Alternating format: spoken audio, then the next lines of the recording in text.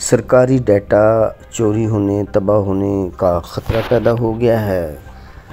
तफसीलात के मुताबिक वफाकी हुकूमत ने हैकर्स की कार्रवाइयों की इतलात मौसू होने पर वजारतों और महकमों को मुरासला इसाल कर दिया, जिसमें मुलाजमीन को ई मेल कम्यूनिकेशन महफूज बनाने की हदायत कर दी। कहा गया है कि सिविल और मिलिट्री हुकाम ई मेल्स फ़िशिंग टेक्निक्स के ज़रिए निशाना बनाने की मनसूबा बंदी हो रही है।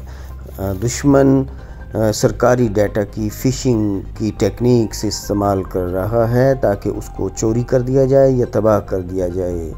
मस्कूरा ईमेल्स अहदे और नाम के साथ असली की तरह तश्कील देकर भेजी जाती हैं और नतीजा के तौर पर ईमेल मौसू करने वाला ट्रैप कर लिया जाता है।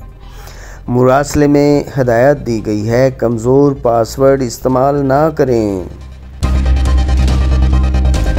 पासवर्ड तब्दील करते रहें।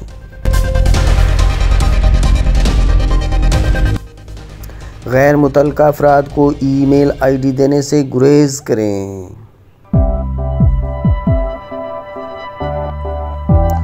ऑफिशियल ईमेल्स के लिए ज़ाती अकाउंट इस्तेमाल ना करें।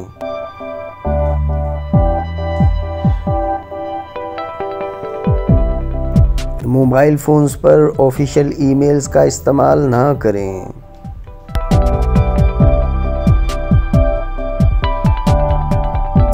ऐसे ईमेल्स जिनके साथ कोई लिंक का मवाद मुंसलिक हो, ना खोलें।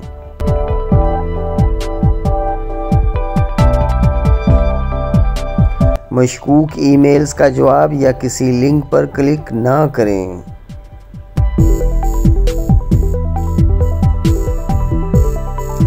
हमेशा पासवर्ड प्रोटेक्टेड दस्तावेज़ ईमेल्स पर भेजें।